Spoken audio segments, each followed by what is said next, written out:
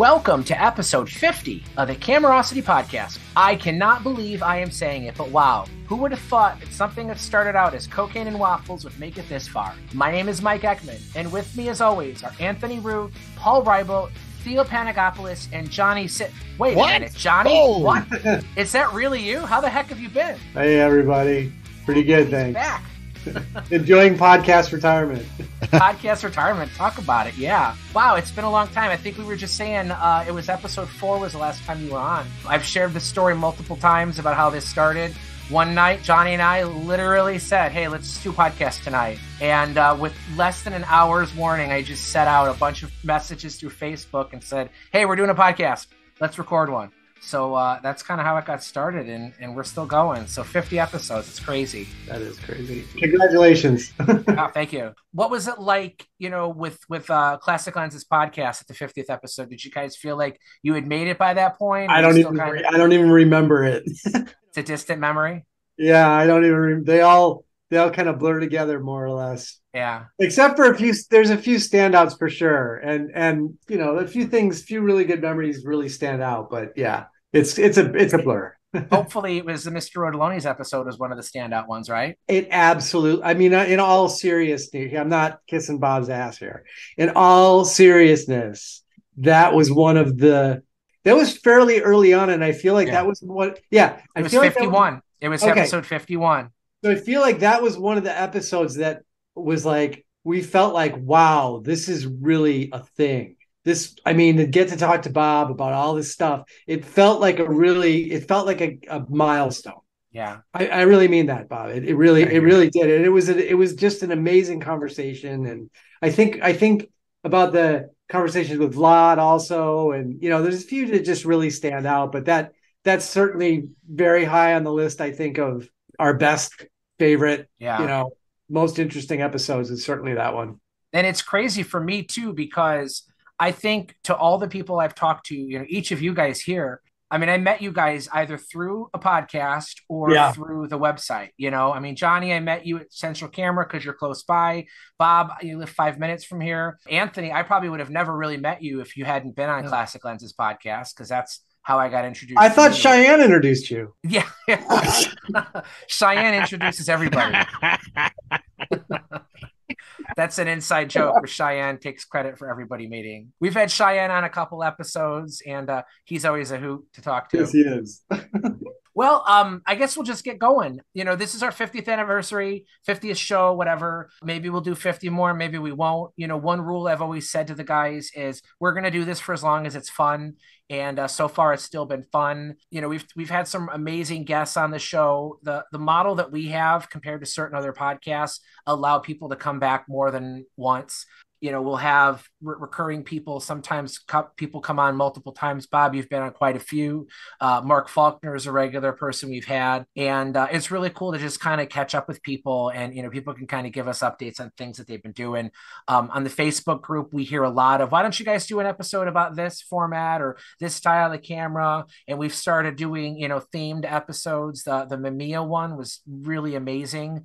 But right before that, we did the Graflex one, which was like probably the episode for us that exploded our listenership like skyrocketed with the Graflex episode and it's continued to go up since then. So um, you know, doing the theme shows has been great. But Bob, one themed brand that in 50 episodes we've never really dedicated a whole episode to is actually Nikon. We've we've talked about it quite a bit, Yeah. you know, bits Yes, and we have. pieces.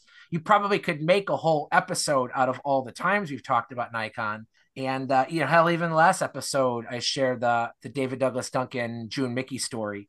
Yeah. So it comes up quite a bit, but we're gonna have to do something, you know, maybe more Nikon centric. Maybe get you and Wes on the show again or something like that. You know, who knows? We'll see what we can do. We have uh, Theo's here. Hey, Theo. Hey, how's everyone? Johnny, good to see you here, mate. Yeah, you too. It's been quite a while. It's been quite a while. Hi, Robert. Theo, how are you? I'm good, thanks. I'm good, thanks. How's the headache?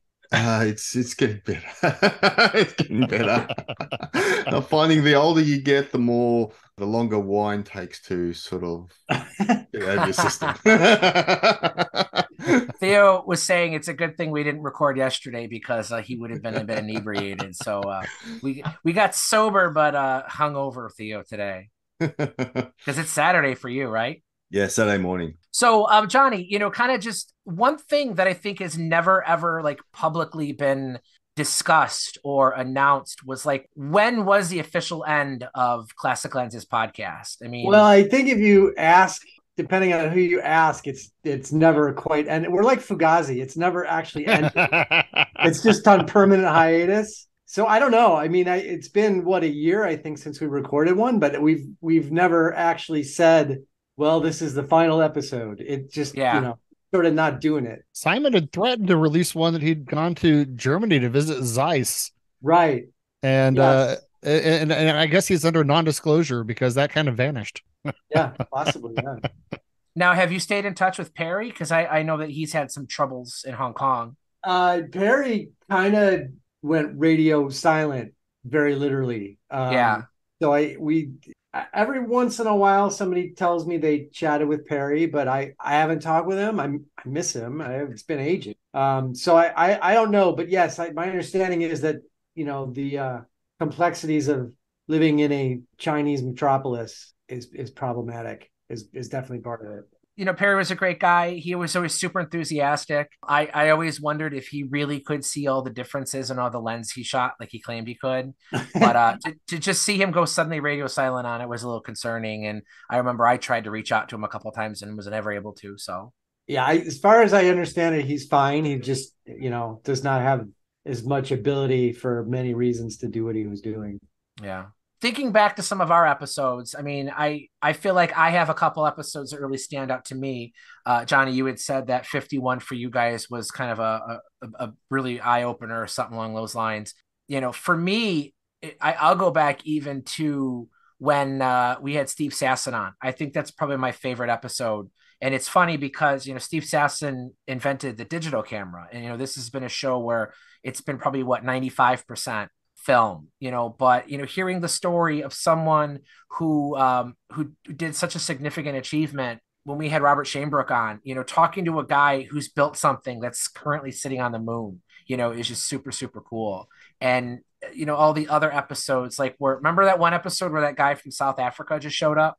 I can't I forget what his name was yeah. He had a real British sounding accent, but I'm like, that doesn't sound British to me. And he's like, I'm from from Johannesburg. We're getting reach in places I would have never thought. And uh, Anthony does a lot of the social media, and you you start you you see engagement on Instagram from people that aren't in the Facebook group. So there's little pockets, right, of people. Absolutely. Yeah, it's it's actually it's, it's kind of interesting that it's a very different group of people that follow and interact on Instagram than on the Facebook group and we get a lot of traction on on what we post on on Instagram. It's interesting, you know. And I and I personally, you know, I always wanted to maintain the Instagram account to be like a visual diary of everything we talk about, since we right. are only on audio, and everybody's like, "What the hell are these crazy cameras you're talking about?" Yeah. And to be able to actually track down and post everything we talk about, it's a bit of a chore. But even for me, it's like really fun because I've never seen two thirds of the cameras we're talking about and that's been a request we've heard a lot. You know, what can we see the cameras you guys are talking about? You know, we have our video on now, so I can see Johnny and Theo and Paul mm-hmm. and everybody. But uh, this is an audio format, and to do editing including the video would just be astronomically prohibitive, uh, something more than I'm willing to take on. So having that Instagram feed of all the different models we talk about, I think is a huge help. It, it's worth mentioning that Instagram feed automatically replicates onto our the Camerosity Facebook page. So you don't even have to join the group if you wanted to have just yeah. see the cameras. You could just go to the Facebook page if you're not on Instagram. That's a good good point. What about you guys? Like Paul, at what point did you kind of realize like this is you know something a little bit cooler than just a bunch of idiots sitting around in front of their computer talking about cameras you know i, I had never heard an episode before i was a guest so I, I really didn't know what to expect but i think bob might have been on one of the first episodes and of course i knew who bob was because bob is legendary but we found out we have we had we also have mutual friends which are yeah. is pretty cool too yeah. Uh, but you know, when when we were able to attract people like Bob and Dan Tamarkin and and uh, Bob Shanebrook and and Sasson and you know, it's just it it, it really pointed out that uh, there's a lot of information out there, and it's very cool to be able to share that information uh, like we do and have some fun while we're doing it. you know, the big thing to me actually, and and lot, listeners probably don't realize this. The four of us talk every day. I mean, we we email or message each other uh, multiple times a day, and uh, and we have a lot of fun. It's it's as much fun to us as it is uh, doing the actual podcast. Sometimes we get into such a good discussion in the private chat. It's like we should save this for the show.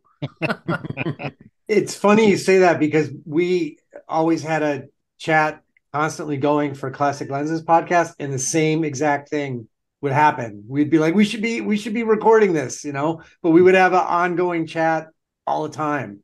Um, I mean, I'll back with Carl even way back, you know. I mean, it even it it really started more. It came out of a chat for the Classic Lenses podcast admin group to begin with. So I, I maybe something that not everybody who doesn't do podcasts doesn't know is that I I think this is somewhat of a universal thing. Like that, I think people who who do podcasts like this do have these conversations. Like it's kind of hard not to, right? It's just you're constantly having this back and forth. Well, you think of something and you want to share it.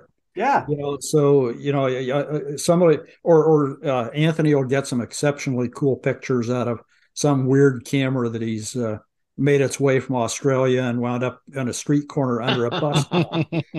and uh, you know, so he feels like he needs to share those pictures with us, and we want to see them. So then that just feeds on itself. I got I got lured into this whole thing with the promise of cocaine and waffles, you know, which is a very Florida thing. You know, I thought Florida cocaine waffles, yeah, that's my wheelhouse. Um, you know, when I think back to the the, the 50 episodes we've done, the ones that like that I kind of have a real soft spot for, or when we get the people like like Liz Potter talking about using her Noblex uh, 120 to do these medium format panoramas. When we had Nafiz with his giant Polaroid, and you know these different people that are, are finding ways to be absolutely creative with these these cameras that are like really on the periphery of what people think of when they think about using vintage cameras. Those stories always fascinate me. And then having people like Dan Tamarkin and and Shanebrook on, like you know, the Moon story. Beside the point, that dude was the head of like the the Portra project and oversaw the demise of Kodachrome. And I mean, his stories that he had about you know winding things down with the film section, like just even why we'll never have um, Aerochrome infrared again. Uh, you know, those those sorts of stories.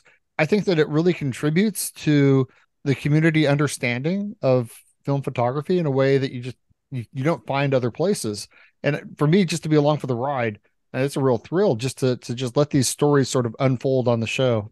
Well, and it's just very important to me. We're losing people every day. You know, Chris Sherlock retired. We've had people who are no longer repairing, and, and some people pass away. You know, Larry Gubas is gone. You know, uh, Peter Dechert's gone. There's so many people we've lost. And while those people may have written books or maybe they've participated online, there's no way they shared all those stories. So I feel like between my site uh, and this podcast, getting some of those stories out. I'll, go back to the Steven Sasson episode. It, it's not hard to find. You know, Steve's very proud of what he did. You could read a lot about him. A lot of the information about how he started, how he was kind of assigned that project to just figure something out. You could read a lot of that online. You know, I mean, the story can only be told so many ways. But when you listen to that episode, he started off with a lot of the same stuff we kind of already knew, but then he started sharing more stories. You know, like he shared a story about going, I think it was like Yosemite or something, and he saw people there, you know, using digital cameras for the first time. And that was kind of like a wow, like this may actually start to catch on. And we started to hear more of those stories, you know, the deep cuts, so to speak, that, uh, you know, maybe we wouldn't have heard otherwise. But having a podcast where we get these people on and just sharing those stories, because one day those people aren't going to be around anymore. And um, and I'm not I'm not naive enough to think that you know hundred years from now people still may listen to the Camerosity podcast. But in some way, you know, we are we are preserving some of those stories and some of that information for people to find out later there's only so much that people have written written down. So I, I, just love hearing. I love stories. That's like always been my thing. You you know, I like the history. I like hearing the behind the scenes stuff about things. Well, uh, Mike, I got a question. Sure. Everybody knows that Bob is the repository of information on Nikon cameras, but how did that happen? How did it happen? Yeah. How did you get started doing that? Well, I bought I, I built my first darkroom when I was 12 years old, so I've been in photography for a long time. Okay, When I went away to school, I wanted to get a Nikon F because that was the camera in the world. I finally was able to. I did some work at school. I bought more cameras. But then I picked up at my local camera store at, when I was at school an SP, which I bought mainly because the F was too loud. I'd be shooting meetings or whatever, graduations at school and whatever. And when the F went off, you heard it. So I found this SP. It was all the controls were almost identical to the F, and it was quiet. So I bought it to shoot with. That was my first rangefinder. I bought it to actually shoot with. Then when I graduated, I had some time on my hands. I actually had started to have some money so I could start shooting color, which I couldn't do in college. But anyway, then I just started going through some magazines and I started learning more about the rangefinders, which of course were gone before I got into it. You know, I wasn't born until 48. So by the time I got into photography, it was already 1960 and the F was out and the SP was already almost gone. So that, that was all ancient history as far as I was concerned. There was nothing in the in the literature to read. So I went to the Chicago Public Library and spent days there. I looked through every single photography magazine they had. I mean, they used to bring it down to me in carts. You know, I'd sit there for hours. And I just kept reading more and more about these rangefinder cameras. And I just started writing everything down. And then I found a couple. I found Shutterbug. Remember Shutterbug? Oh, sure. I found Shutterbug. Uh, I think 1973. I think I subscribed to Shutterbug. Shutterbug. I didn't graduate to 71, so 73. I I got Shutterbug. I started seeing these little ads from people selling these things. And there was a fella in Ann Arbor, Michigan, uh, a Japanese fellow by the name of Yuki Kawai, and he was a Nikon rangefinder collector. Said, "Oh, there's somebody else besides me out there." So I call him up, and we get together. I actually go to his house in Ann Arbor. We sit there all day looking at his stuff and whatever. And then I met another fellow by the name of Bill Kraus, who was in Pennsylvania, and uh, he was also a Nikon collector. I met Burton Rubin, the great Burton Rubin, who was a dentist in New York, and all we were the original four. Okay, we were the original four Nikon collectors, and it just kept going from there. And then in 1981, uh, I said, you know, Leica's got a society. This this outfit's got everybody's got a society, but Nikon doesn't have a society. So I, I got a hold of all my people I knew. I said, you know, I'd like to do a book. Would you help me? Because I don't have pictures of every. I don't own everything, so I need pictures. And that came in. I put a, the first book together, which I self-published in Chicago, just a paperback. And uh, then the second book was done by uh, Derek Grossmark in, in England, a Hove camera. And uh, that was a hardbound. That was in 83. And then also in 83 is when I founded the Nikon Historical Society. I publish a quarterly magazine for that. As a matter of fact, the issue that will come, not this issue, but the next issue in September will be our 40th anniversary issue. So we've been around a while. Okay. So I've got 40, 40 years of those things I've been doing. It just kept going. It's a learning process. I've got a database that has something like 28,000 serial numbers in it that I've collected over the years and things like this. So it just kept going and going and going. And it kept me, I had a, I had a very, I had a job that was all consuming. I was a pharmacist for, for 42 years. Okay. I used to work six and seven days a week. There was one job I had for 10 years. I was off every other Sunday. I worked 13 days on and one day off. So my job was all consuming. And when I, I needed something when I went home to forget about all that, the collecting did it, did it for me. And I try, I've been to been to Tokyo five times. I've been to the factory five times. I've interviewed all the guys that designed them, which of course are all they're all dead now. You know, but I interviewed everybody who designed the rangefinders. They're all gone. Uh, I started a society. We've had conventions all over the world, and um, number 17 is coming up in Germany in September. It's just something that just snowballed and it just kept going. And, and so that you also started collecting at that time. Oh yeah, I started collecting. In well, when I got that first SP, I was probably a, I think I was a senior farming was five years. I was at my fourth year, so that would have been about 1969. When I graduated, that's all I had was the SP plus all my Fs, which I used to shoot. And then I started going to the camera store. I went to Central Camera. Johnny, I used to go to Central Camera a long time ago. This is 1971. I was going to Central, going to Altman's. Remember Altman's? Used to go there all the time. But uh, then I started seeing more, and I started picking up little things here and there. And of course, Shutterbug. You know, things were cheap back then. The prices back there were almost comical, you know, compared to what they are now. Bob, was there a time like when you finally made it to Japan? You know, you're finally getting sort of recognized by the people at the Nikon factory where you yeah. thought, yeah, this is a real thing. Well, what happened was the first trip I made in 87, and we arrive at the hotel. I went with two other fellows from here in the United States. We went to the hotel. We walk in the hotel, and there's six people waiting for us by the check in counter.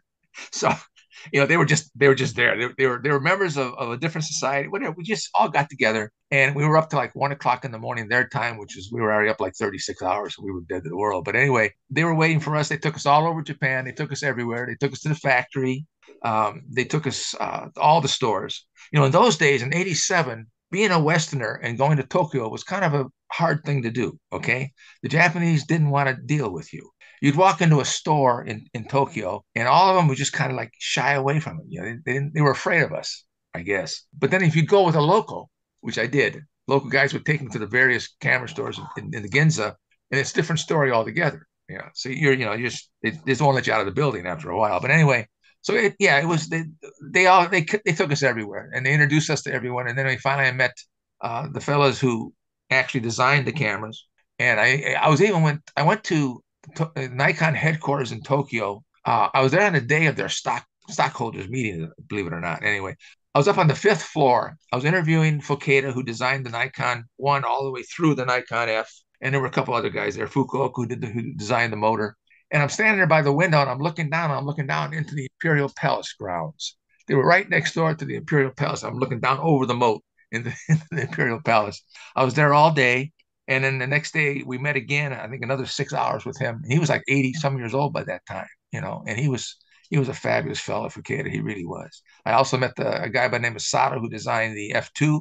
You know, it was just it just started from there. It just kept going. And did you you found probably the same as I did that the longer you do it, the easier it gets to find stuff.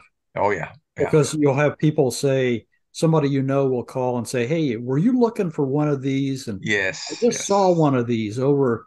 So, oh, or yeah. I just got this, and I really don't need two of them. Well, you know, before the internet, uh, it was all fax machines. Remember fax machines?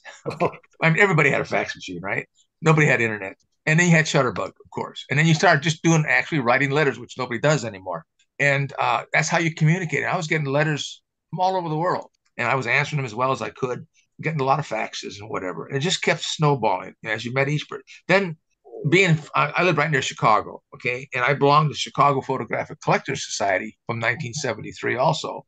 As a matter of fact, I was treasurer for 20 years because nobody else would do it.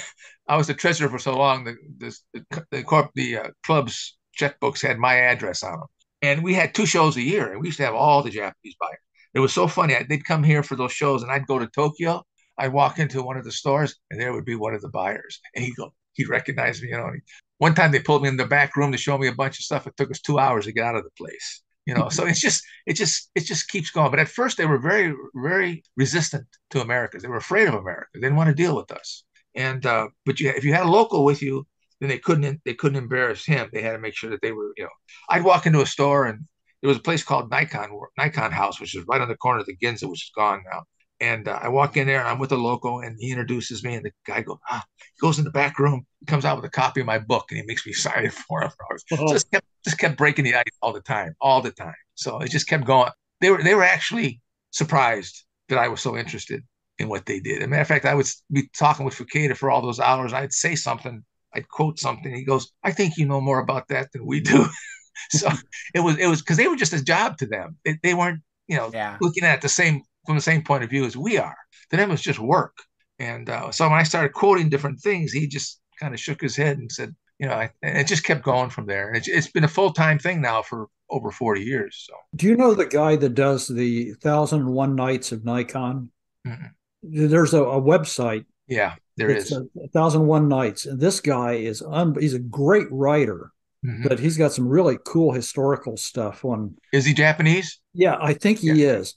He's internal. yeah, he's internal. One product and do a an in depth look at one like a lens, a 58 millimeter 1.2. Yeah, you know, or something like that, and the design of it and how it came to be and when they did it. You know, the problem I ran into. I used to watch what the, the Leica people were doing. I had all of Jim Lager's books and all this, and I loved Leicas. I used to read all about them. I talked to, to Lager a couple of times, and you know, he had access to the archives at like uh, he'd go there, they turn him loose in the room for hours at a time. He could write everything down. With Nikon, you didn't have that for various reasons. Language barrier, okay, for one.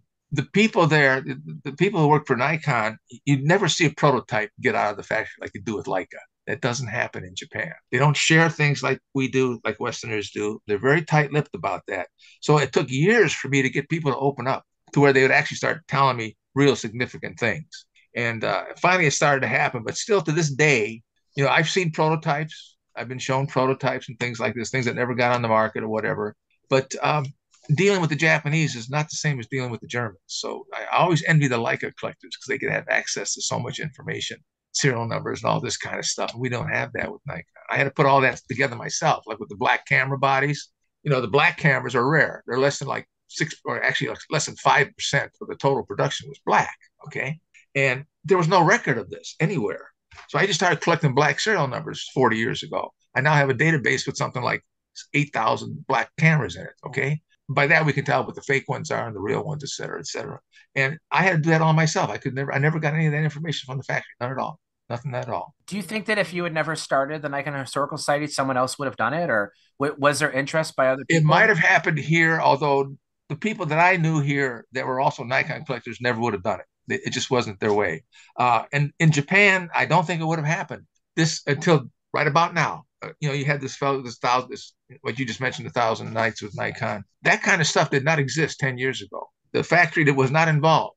Okay, they, they weren't interested that kind of information just was not made available to the West at all. Yeah. I'm sure there was stuff in Japan going around in the 60s, the 70s, and 80s I didn't have access to, but there was nothing here in the States.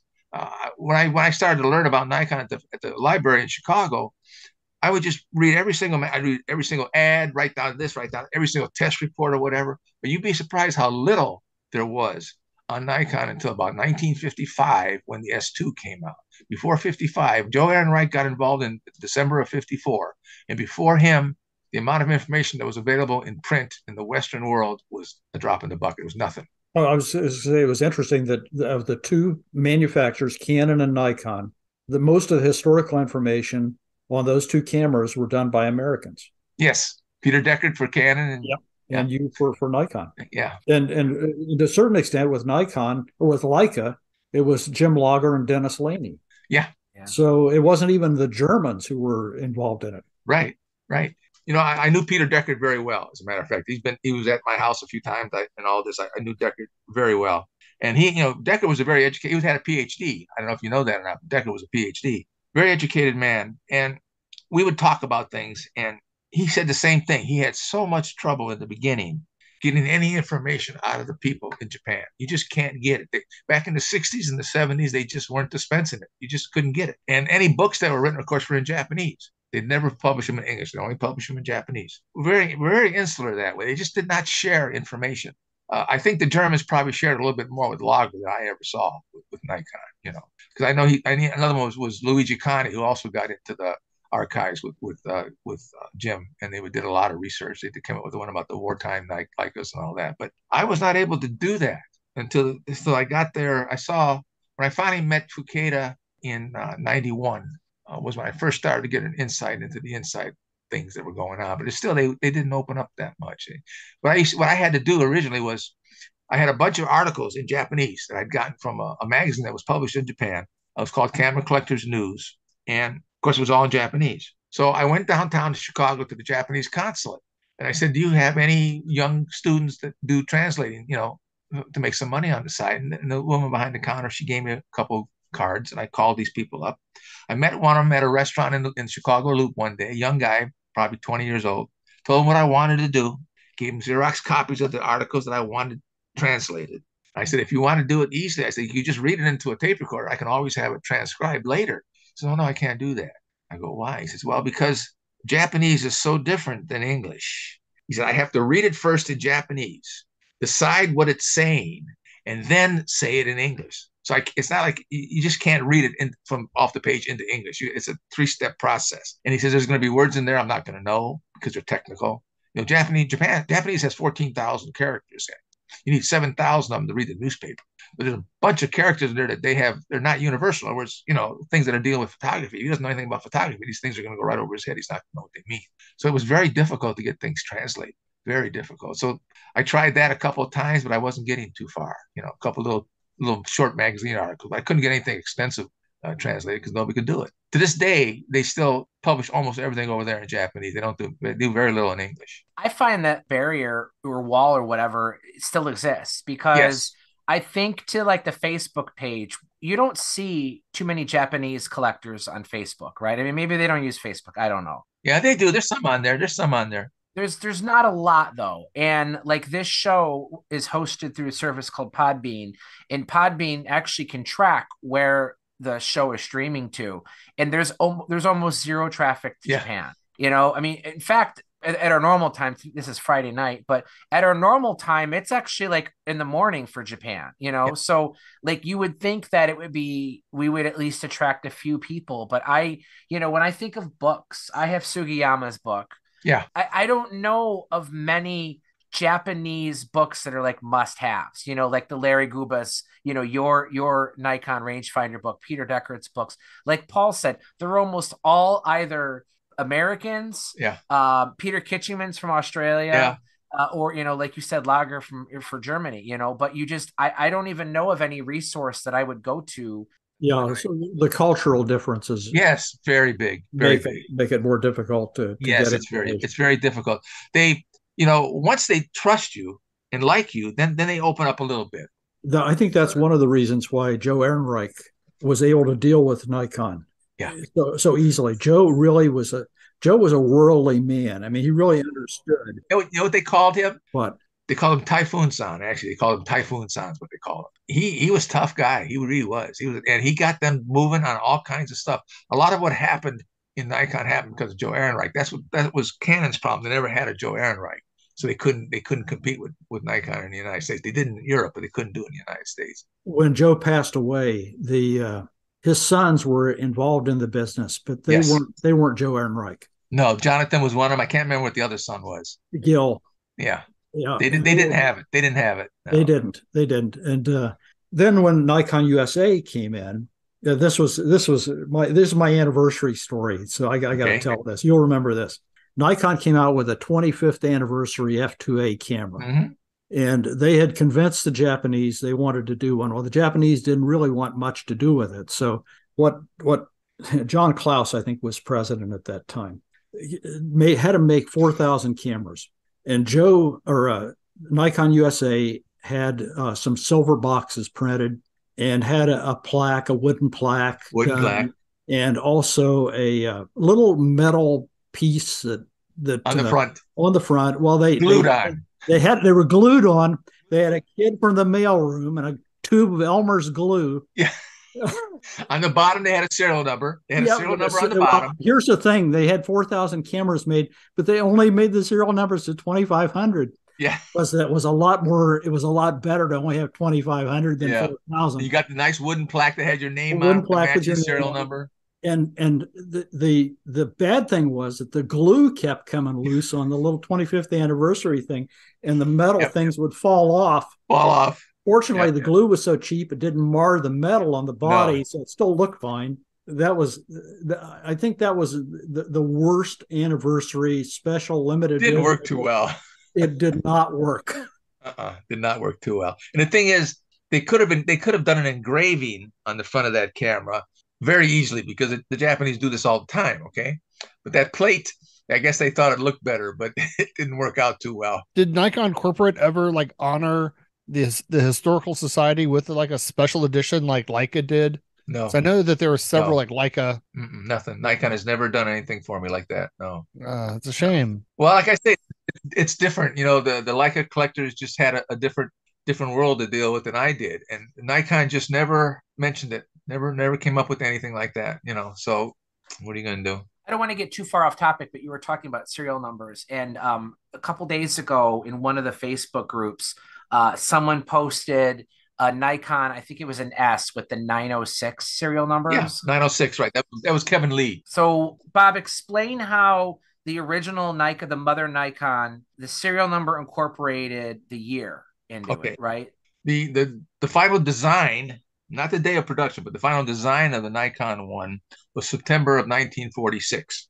The first three serial, first three numbers in the serial number was 609 for six for 1946 and 09 for September. Okay, so the very first camera, which I've held in my hands, is 6091. They still have that's mother have 6091, 6094, 6097 are still within company hands. And so it went up from there. So the second camera would have been 6092, et cetera, et cetera. So the 609 designated the date. It also turns out to be a coincidence. When the Nikon one was designed, it was also the 206th year of the Japanese calendar. So it's it's there's, there's an argument as to what did it really represent. Was it 260 year of the Japanese camera account calendar, or was it because it was September of 46? But anyway, that's where the 609 came from. So all through they kept doing that. They kept adding on that to that 609 until they got up to 609 9999. But then you would think they'd go to 610. Well, they didn't. They kept going. They went to 609 and they went to 10,000, whatever. They made about 1,200 cameras too far. They call those the eight digit. Eight digits, right. Have an oh, extra okay. digit in them because they're 609 10,000 and up. Okay. They went to like 1,215, 10,215 or whatever it was. Then they reverted back to 610 after that. So the 609 disappeared. But the thing is, the 609, if you look at it, the six and the nine are the exact same numeral, just one's upside down compared to the other one. All right. So what happened was, for some reason, nobody knows why, twice, at least twice, they punched out a bunch of top plates. Instead of 609, they did 906. They turned it around they I don't know if they put it into the into the press backwards or what, but something happened. They come out with 906. Nikon was so well renowned for quality control. You've shared stories about how lenses would come off the assembly line, and if there was even one occlusion, they would smash it and throw it away. So Hammer, yeah. how how could something so obvious make it past if it was a mistake? Well, the thing is, it didn't. It didn't make it past, and here's why. The 906s were made in relatively small numbers, maybe as many as a couple hundred. Okay, and of course, they're valued today because they're they're errors. I've actually, when I was in Tokyo the first or second time, I actually had a fella bring in his 906 camera to show me, and he had the paperwork with it, the warranty card and everything. And there on that warranty card, it didn't say 609, it said 906. So they even knew when they were making the warranty cards. They knew it, but it wasn't worth it to them to, to, to change it. You know, the part was too expensive to waste, so they didn't change it you know they, they knew about it. They knew about it. There's some other errors too that they made. There, there's a series of lenses. Uh, a lot of things we find with an asterisk after it. Those are duplicate serial numbers okay? They don't show up too much in the cameras but they do show up in lenses a lot. And uh, i have a couple that are actually i have both versions. I have the non asterisk and the asterisk and they have the same serial number. They're just two different lenses. But the thing is they did make errors but they were actually aware of it most of the time but they didn't want to go through the trouble of of scrapping it and starting over. They just they just used it well, I, I think they probably didn't think it was important. No, I mean, they didn't. Their, their it was just a number. Was, it was just a number. Yeah. They, Fuketa said the same thing. The only reason we put a number on it was for warranty control. Yeah, it wasn't looking at it as a historical document. You know, they were they were building cameras that people would would use professionally or or use for you know for it was a an item that that was for the for people. And it was a movable object. It wasn't, you know, it was something there. And the thing is, he said the only reason we put serial numbers on things was to keep track of it for warranty purposes. That was the only reason. The numbers didn't really mean that much to them. As a matter of fact, if you look at their production, like in my database, if you follow the production of serial numbers, you'll see things that aren't quite right. You'll see an occupied Japan serial number later than a non-occupied Japan serial number. And it shouldn't be that way. It should be the other way around. So they were just they were doing this all the time, and we were used to that you know, it was a lot of times when in the old days with Shutterbug, when you would buy, there was no pictures or anything, you'd buy something through the mail. Uh, you didn't know, you didn't know exactly what you were going to get into the box right? You know, so it was. It so was I have a question: If you're buying things through Shutterbug magazine, like how do you pay for it? You couldn't pay in those people. days. Oh no, no! In those days, I used to use money orders. Money orders. Money orders. Yeah, they go to the post office and a money order. So you would send them the money, and then they'd send you the camera. Yeah, unless you're unless you're buying from Jim Keel. Yeah, Jim Keel was a dealer in uh, Topeka, Kansas. Yeah. And you would call Jim Keel, and he, and he would answer the phone no matter what what yeah. time of day it was, night, holidays, whatever. And uh, you would tell him what you want, and he says, "I think I have one of those, and I think yeah. we could do this." And he says, "I'll give me your name and address. I'll get it out to you, and you just send yeah. me a check." So uh, I want to ask Johnny a question. You know, John, you knew Robert before I did, and we mentioned earlier about episode 51 of the Classic Lenses podcast. But how far back had you known Robert, you know, from him going to Central Camera? Oh, shit. Like when did you guys first meet? I don't remember. I've been going to. I've been going to Central Camera long before you probably knew what cameras were. Okay, I've, I've been going to Central Camera since I was in right. high school. Okay, wow. I'm talking 60, you know, 66, 67, 60. I was I used to go to Central. I had a route I would take. I'd go to yeah. I Altman's and I hit Central. You know, I right. hit all of them. And uh, uh, I remember when when when uh, Altman's was on on South State Street, also or South Wabash, also underneath the L, long ago. But so I was going to Central when John when when when Flesch's Don Flesch's father was probably still alive and running the store. And then I met Don. Oh, I met Don Flesch what thirty some years ago, thirty five years ago at least. You know, so wow. so I don't know how long you've worked there, but uh, how far back you go. But I go back further. Oh, for sure. I I mean, I used to go there when I was in college in the late 80s, early 90s, yeah. I would go there. Yeah. Because I mean, I would buy supplies there for. Yeah. Oh, yeah. They were. Class. Oh, they, they supplied almost like Columbia College. Almost oh, yeah, all they, were, they all came to him. Yeah. Right. Because it was right there. It was closest, the closest place. Oh, yeah. So I used to go there in the, you know, late 80s, early 90s. I started, I mean, I had even probably been there in high school once, but I started going there regularly when I was a student, you know, down in the city. Um, and I would get supplies and decide if I had enough money to buy chemistry or cigarettes that yeah, day. Know. You know, and and it's funny because um, a guy that I work with there now, Charles Azaki, his dad worked there. Little oh, Japanese guy, you remember John? I believe it. Yeah, yeah. There so was a guy that worked there. John he was behind the counter. I used to see him all the time. There was this one guy that worked behind the counter. I didn't really know his name, but I we knew each other by face, you know, because I was yeah. in there so often. So we got to talking one day, and he says, "You know, where are you from?" And I go, "I'm, I'm, I'm from Chicago Heights, Illinois, which is south, right?" He goes, "Oh, I'm from Flossmoor, five minutes away from me." and he's working the counter at, at uh, wow at Central. Yeah, yeah, that's crazy. So, but yeah. I, I didn't work there until I think I started in 2015, 16. Yeah. Um, but I mean, I've been going there regularly for oh, years oh, yeah. to, to do uh, film developing. I mean, I've been yeah. going there as a regular after college. I started going again.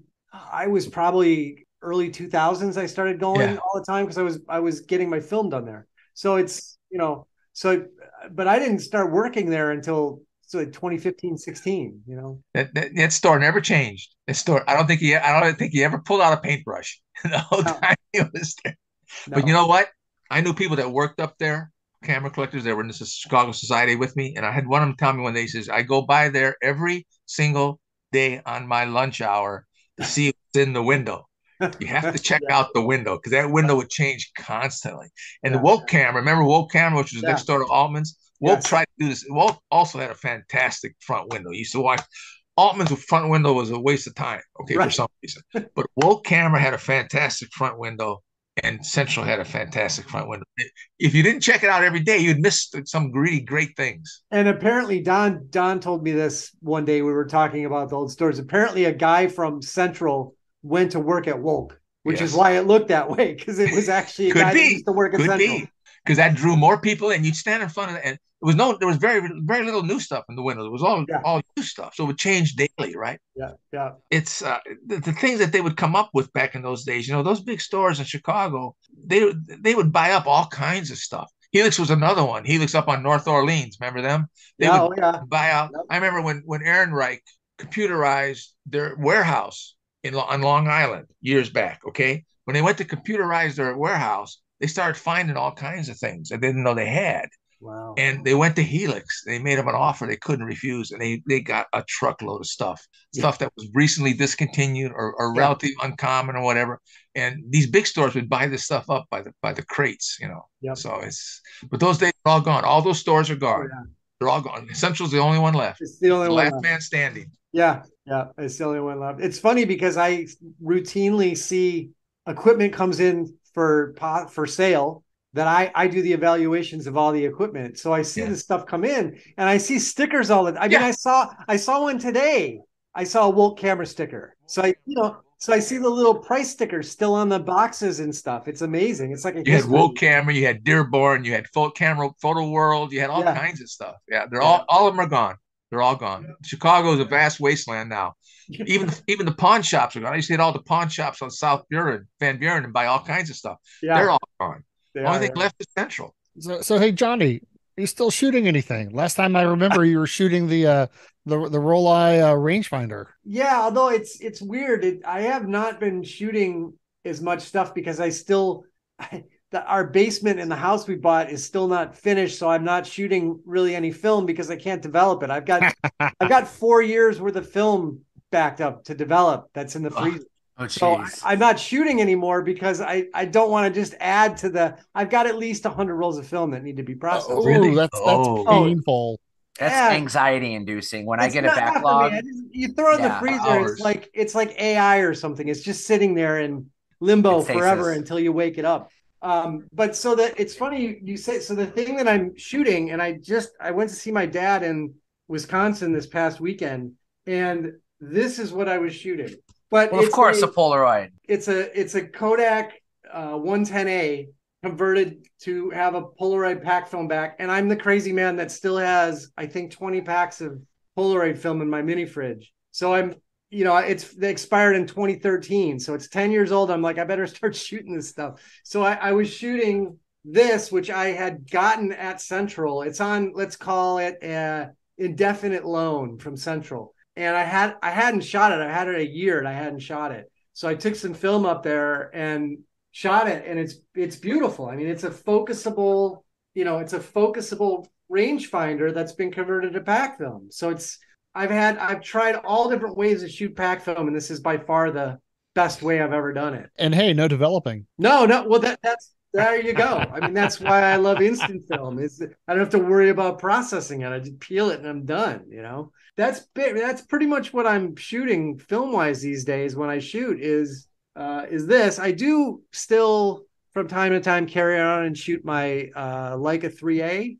That's about the only film camera I carry around and shoot you know, other than an instant these days. I mean, I I I just don't really shoot anything else. It's just it's perfect pure minimalism for me. Um, so that's that's about it. With the Polaroid, though, you know, there's a whole a whole series of young photographers who will never know the joy of waving a Polaroid print while, while it's worth the dry yeah, dry exactly. faster. To dry. Exactly. And I mean, and I grew up with it because my both my parents worked at Polaroid. That's where they met. So really? I, you know, I yeah. So I I grew up around. Pol- I mean, it was just around the house. My dad was a Polaroid salesman, so I, he always had film and camera, you know, Polaroid stuff. So to me, it's just second nature. I mean, the smell of the coder for the black yeah. and white prints. I, I, you know? I remember that so distinctly. We get those little coders. They come in sometimes in equipment at uh, Central for evaluation. And so me and Charles open them up. we're like, sniffing them. You know, it's like it's like the old bubble gum from baseball cards. It's like a very specific, peculiar smell that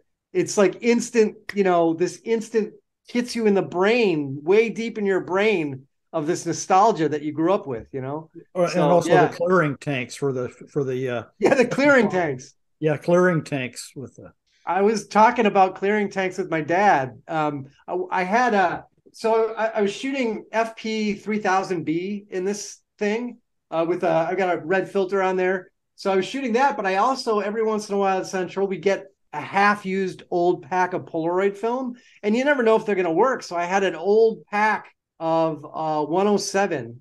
Um, I it was probably from the early 70s and i'm yeah, yeah. shocked that i got images out of it. I mean they're ghostly but i got images out of it. But they actually need to be coded. I still need to code them because it's pre coded which i think was 1979 they came out with coderless. 107c 107c exactly. No coding you know? Yeah so every once in a while we get an ancient pack of film and i'll try shooting it so. Used to be a time when you'd be walking through like parks or whatever or museums or you'd find you'd see on the ground the stuff that was thrown away from the Polaroid shooters, you know? Yes. And and actually it's funny you say that because so my dad worked for Polaroid starting in I think 1965, 66.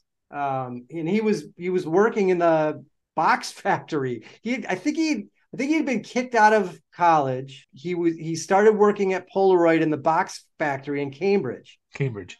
Um, and he saw a, a notice on the bulletin board one day for a salesman job and he thought, oh, that sounds interesting. I'll, you know, I'll check that out. So he gets high, gets a salesman job at Polaroid. They relocate him to Chicago, uh, and he meets my mom. The rest is history. The rest is history. Yeah, but but I, you know, I talk about that stuff with him, and he one of the stories he tells me, he knew he knew Dr. Land. I was going to ask you if you ever met him. Yeah. Yeah. Oh, yeah. He met him. And Dr. Land, for people, you know, people in this group probably know it, but for the rest of the world, was like the he was like the Steve Jobs of the day.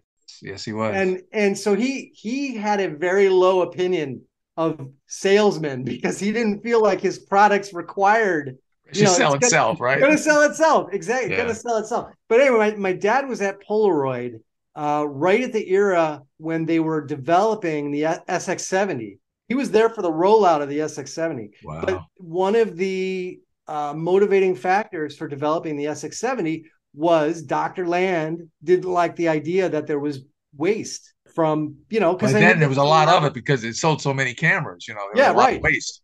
Yeah, but it's a lot. I mean, there's a lot of waste with a peel apart. You got eight, eight or ten packs of film. Didn't the same thing happen with the guy who invented the Keurig? Like regretted doing oh, it because yeah. of how much waste it created. Yes, similar yeah. thing. The landfills are now full of those little cups. Yeah, yeah. So, so the SX70. That's why they put a battery in every camera film pack. yeah. it's it's interesting how you compared uh, Edwin Land Steve Jobs. When Steve Jobs introduced the iPhone, you know, he walks up on stage, real minimalist, pulls the phone out of his pocket, and it was like, "This is your phone. You know, this can do all this stuff." Well, I read a story about Edwin Land when he, they released the first SX70. I believe he walked out on an empty stage, pulled the camera out, unfolded it, and fired off ten shots, kind of yeah. with a similar like, "Holy shit, what did he just do?" You know, yeah. how how is this possible? Right. So I, I think that's a very fair comparison. Were they just pictures of the crowd or probably it was the idea that it could be done that quickly though. Right. I mean, he made that it, people I, I don't think people who didn't who aren't just barely old enough to remember it don't understand. He was on the cover of Life magazine. Oh yeah. For inventing yeah. the SX70. I mean, it was it was a really I mean, the the, Apple comparison, I think, is very apt because the yeah, it is. Polaroid stuff at that time was very much on a consumer pro. Yes, the other thing, it was the freaking 60s. People did not have the kind of disposable income to spend on stuff that they do now. People spend a huge portion of their, you know, their money on photo related stuff back and photo and movie related stuff back in the day. So it was a really big deal to own a Polaroid camera or own a movie camera or whatever. Half of my childhood photos are on that on yeah, Polaroid that right? my parents had. They're yeah. up. I got some on my wall. What's interesting is we're halfway through the 50th episode. It was about 50 and a half years ago that the SX70 was actually released. yeah.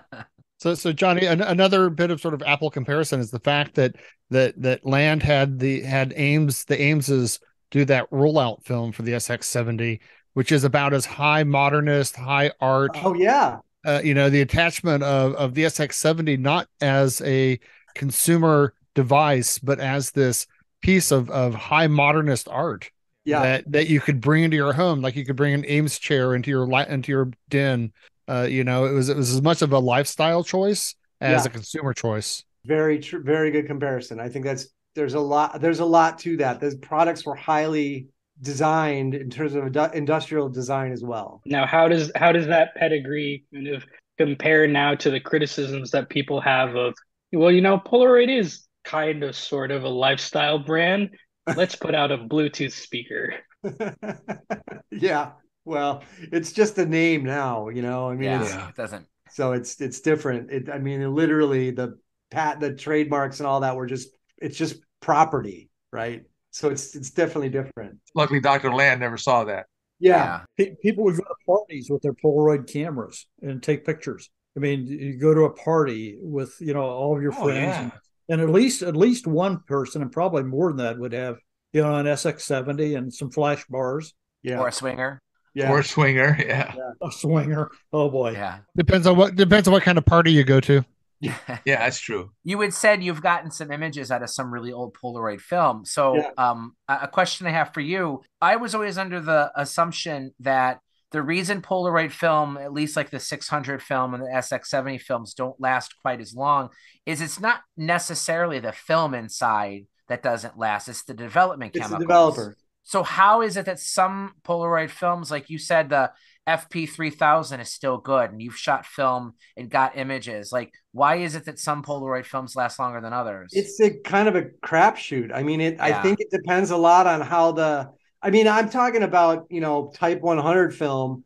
They're usually half exposed, so the pack is literally you know you see a sheet on the top that's going to be exposed, but the rest of the pack is actually light safe underneath it. But I'm talking about packs that have been open for 20, 30, 40 years. To oxygen, yeah.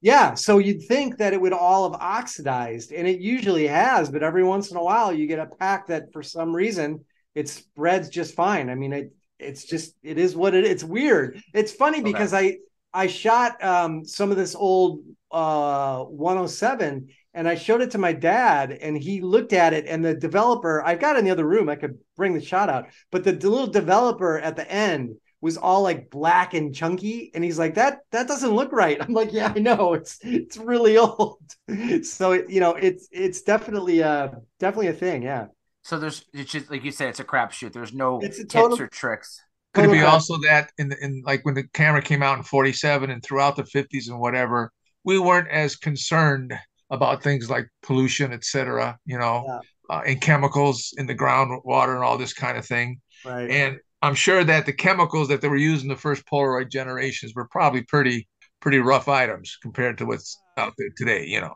Yes, I mean, they had, maybe they, maybe the government kind of made them go a different route and designed their chemicals differently to be less polluting and whatever. So right, I mean that that's part of the you know always the joke when they people were talking about how they were going to make pack film again, and it's like no, you're not. You can't. You, can, you can't even buy those chemicals. EPA won't let you. EPA no. won't let you.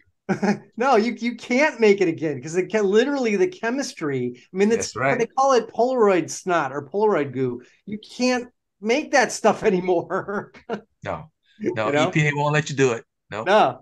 We have a Nikon guy and we have a Polaroid uh, guy on the show. Wasn't there a product that crossbreeded Polaroid to Nikon? Wasn't there sure. a back for the SLRs? Yeah. Oh yeah, Asanuma made it. They call, it was called the um, Proback. They made one for the F. They made one for the F2. Yeah. They made one for the F3.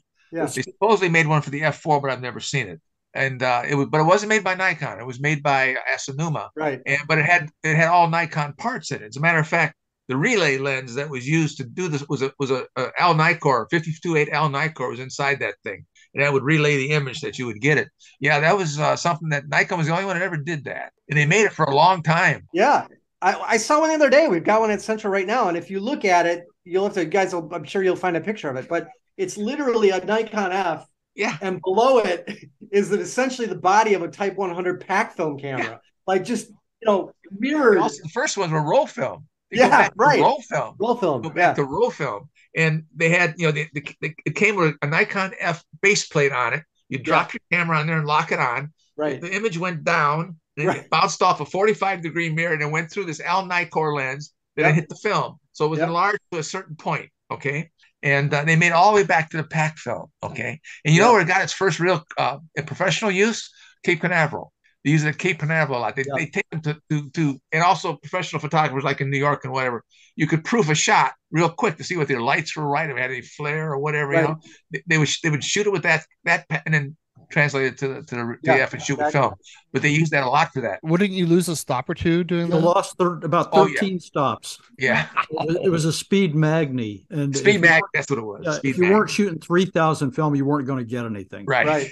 I mean, yeah. it was you you you'd lost a lot of light going through the yeah. thing. Yeah. But then Bob, an NPC, yes, oh, Newton Plastics made uh, made backs for the F3 and also for the FE and FM. Yeah. The problem was yeah. that that it only the image size was 24 by 36 millimeters. Right. yeah, but I mean, back in the day, if you you know that all you needed was to see your exposure was you right. to check a fine, light, right? You wanted to check a light. That's what. Yeah, you were checking the lights. Yeah. The speed yeah. Magnys also were used for horse races for uh, finish line picture. So one of the stories my dad told me when I saw him this past weekend was he was at, so the Indy 500 was on, right? It was a Memorial Day, and my dad used to go to the Indy 500 every year for Polaroid with a press pass. And what he did for the first, uh, I don't know, the first few years he did it, is he was actually at the finish line taking a photo photo finish picture. Yeah. right. Yeah. And and they had he would run it down and they had a lab there on site to get photos to, out to the newspaper before the race was even over. So he took a, this photo that was published in the newspaper in the Indiana Star Register or whatever before the race was over, so that people would get the photo from the Indy 500 in their evening paper. You know, unbelievable stuff. I mean, that's that's basically what my dad did. Is he was like an industrial uh, salesman. He sold. He was at Fermilab all the time. They would do these atomic the the test to get the cyclotrons and whatever. Yeah. Yeah, the accelerator. And these they would have a hundred cameras lined up and they would fire this thing off. And they he said that they would go start pulling packs, start pulling sheet, and there'd be just littered on the floor, uh, Polaroid photos that that would need to be developed. I mean, it's just crazy stuff because there was no other way to do it. Polaroid was cutting edge back then. Period. Yeah. Cutting edge the best one. I should really get my dad on here sometime, but one of his customers was the Chicago Police Department. Okay. And it was a it was a really big deal for them to start uh, doing Polaroid because then they could instantly do fingerprints much easier. Um, so anyway, he's got this really long story about hands being chopped off in the morgue. Yeah. and fingerprints being done on Polaroids and stuff. I mean, for the it's amazing. The the uh, the the the groundbreakingness of instant photography in that era was just it changed everything you know yeah. it really did behind the scenes that we don't think about now but it changed everything it was some of the benefits we have today with digital but still in the film era Very you know much. i mean even even going back to 1948 when the original land camera came out to be able to get an image that quickly even from educational you know purposes right. teaching people about exposure and yeah. you know i mean it, it's so hard for people today younger people to or even my age whatever to understand how big of a deal polaroid film was yeah you know there was i mean fuji had its own you know competition we all know kodak tried making an instant film camera and violated a bunch of copyrights in, in the process but i mean polaroid was it like it was like Kleenex. You could buy any tissue. Household, yeah, it was like generic. Still call it a Kleenex. You could have a photocopier made by Canon or Ricoh, but it's still a Xerox machine. Polaroid became synonymous with instant photos, right? And it's such a huge deal. Yeah, I mean, he, even my another one, my dad, he's still looking for his documents from it, but he used to go out to uh, Carlsbad, California, with um, Ansel Adams so he would oh. go to the Ansel Adams workshops. He's he'd been with Ansel Adams back in the day and do, you know, because Ansel Adams was a huge proponent of Polaroid photography because he could proof things there right. on the spot and check, yeah. Yeah. And also, I mean, a lot of his a lot of his photos, he used the negative out of the type 55 film. So it was a really big deal for him too. He was a he said that whatever they were paying him was not enough because he had such a huge impact on the professional photography community as far as using Polaroid as proofing material. Well, he, he published several books of, of the Polaroid pictures. Yeah. Yeah. I mean, there was the print, the negative, you know, the camera, but then yeah. there was another one that was just Polaroid. Yeah. Yeah. So Johnny, yeah, I don't know if you how many of the back episodes of the show we've listened to. Theo briefly mentioned earlier, we had done a show. Uh, it was like episode 20 or something. And it was like the last three minutes of the show. And this one guy, Nafis, was on the show and he didn't talk a whole lot. And we noticed this huge camera behind him. And, and Theo was like, uh-huh. Hey, mate, what's that thing behind you? He goes, Oh, it's a Polaroid. And we're like, What? He goes, It's the 20 by 24. 20 by 24. And we ended up talking to him a little bit. And he came back on episode 23 and we are able to talk to him a lot more. But he actually works with one of the six 20 by 24 Polaroids that still exist. Wow, and he talked cool. about Elsa Dorfman and stuff like that. Had your dad ever had an experience with those huge Polaroids? Uh, yeah, he he did do stuff with them. I have to ask him stories about them specifically. Uh, but they were they were a really niche product. Yeah, oh, sure, know? yeah. Um, but yeah, he he he definitely he definitely knew about them. Uh, I don't know much about if he worked with that material at all. It was just so special. Well, who made the film? Did Polaroid make the film? Polaroid made the yeah. film. Yeah. yeah, I mean, it's a two foot tall, yeah, you know, twenty four by twenty inch yeah. Polar instant image. Right. You know, I mean, just spreading the developer evenly across something that large must have been a pain in the ass too. Well, it, it was it had a special machine. I mean, yeah. they literally had a processor for the you know the Polaroid film. So oh man, cost factor must have been tremendous. Unbelievable, yeah. People didn't realize that there were the industrial applications for Polaroid even at the toward the end of their life. Yeah, like Type 809, eight by ten Polaroid film. Yeah, uh, and you know there was just a, a tremendous amount of that being used for for commercial photography. And for when Spectra came out there was they they had a camera called a macro 5 which was a, a handheld close-up camera. Mr5 yeah. Those are really cool. It was yeah. like shooting a, it was holding like holding a bread box with two handles. It had lights that uh, you move yeah. the camera forward and back and when you see just two lights keep moving and you see one light you're focused. Yep well they made a special film for it called a, a grid film the Becton Dickinson, who was a, a, big medical research company, yeah, uh, commercial uh, had it made to do photographs of skin lesions on people or or, or wounds because mm-hmm. the film had a grid that was a specific distance so they could take a picture every two or three days and see how the wound was progressing. Yeah, I mean, they just did so many cutting edge things that that uh, people don't realize what they were doing. I'm sure that the I'm sure that the uh, oil industry probably use it for taking pictures inside of pipes and things like this and whatever. You know, that they could if they were worried about something wrong, they could get the image right away and decide whether there is some a problem down there or not. You know. Yeah, I mean another another dad story is during Vietnam they were using uh, Polaroid film to do x-rays on cluster munitions so that they wouldn't explode in trains transporting cluster munitions i mean literally so that bombs wouldn't blow up they were using polaroid film to check the munit it's i mean it just wow yeah yeah that's what i mean it's like you, there's no end to the amount of stuff that that that was being used for. Please talk to your dad. Um, these are the kinds of stories I love to hear. Um, yeah. If he doesn't tell them, your dad's not going to live forever. Those stories will go with him. So I'll, uh, I'll, let's, I'll let's talk to him about it. I'm sure he I'm sure he'd enjoy doing it. Yeah. While we were talking, actually it's been about an hour now, but we had Rob Jamieson and Andre Domingues join us. Um, they've spoken here and there, but wanted to give you guys or say hello to you guys, but wanted to give you a chance to ask any questions. You got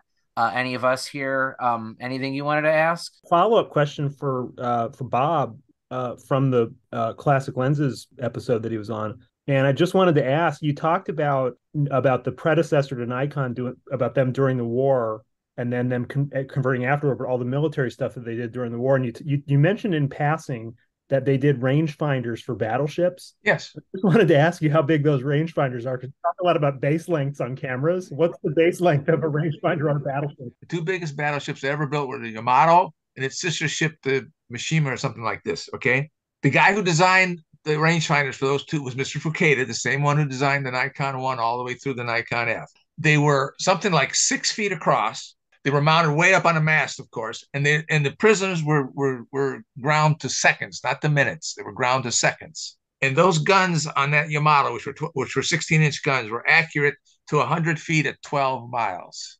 Oh That's how accurate those rangefinders were. Nikon also made the periscopes for all the submarines, which have something like 20 pieces of glass in them.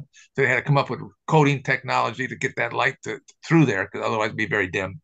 Uh, all the bomb sights used at uh, Pearl Harbor were made by Nikon. Nikon made all the battleship binoculars and all the binoculars all the troops carried. Every officer had to have a pair of binoculars. Nikon made all of that. But uh, their binoculars, by the way, uh, we, we captured so many of them at the end of the war, brought them back to the States, and uh, we couldn't believe them. They were so much superior to ours. Okay, they were very much superior to ours. Now, were, were those you, you mentioned superiority of those optics to the Allied optics? Uh, were they superior to the German optics as well? Do you know? Do you know that or no? In some respects, yeah. Leitz, of course, made a lot of the binoculars in that during the war for for the, for the Germans, and I'm sure Zeiss did too. The Nikon. See, the thing with Nikon was the Japanese didn't have radar, so they depended on their guys up in the crow's nest. Okay, actual visual coverage. They didn't have radar. They had specially trained sailors that they would be picked up because of their eyesight. Okay. And these guys would be up there with these battleship binoculars that had a 20, 120 inch, 120 millimeter uh, noses on. Okay. Now they'd be up there and they could spot things that even before radar could spot it. Okay. That's the only thing that they had. They didn't have radar. They could spot planes from miles away. But also, what they could do is they had little lights inside of their binoculars for nighttime use. And during the early part of World War II in the South Pacific, the Japanese were just kicking the hell out of us at nighttime. We couldn't fight them, even though we had radar. We couldn't beat them at night because they could see us and we couldn't see them with those binoculars. Later on, when our radar got better, it shifted the other direction. But during the first half of the war, they were killing us at night. We couldn't figure out how they were doing it. How could they even see us? But they could with those, and they had specially trained guys. That's all they did their, that was their only job in the Navy was look up on those up on those crow's nests looking for things. So I'll include it in the uh, Instagram notes. Um, but in the chat for Zoom, I posted two pictures. The first one is the tower of the Yamato and yeah. that long horizontal thing across the top. That's, that's the, the rangefinder.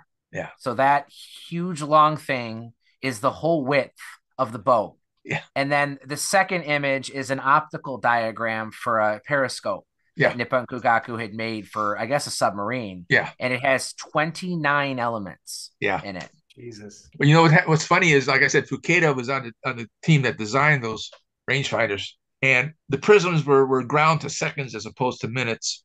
That's how accurate they were. And years later, that technology was used to design the prism for the Nikon F. Hmm. Because he had worked with prisms so much during the war. When he went to design the prism for the Nikon F, he went back on his knowledge of prisms and he, he came up with the Nikon F. And it was it was MacArthur's decision to allow Nippon Kogaku to continue producing optics based on that performance, right? Yes.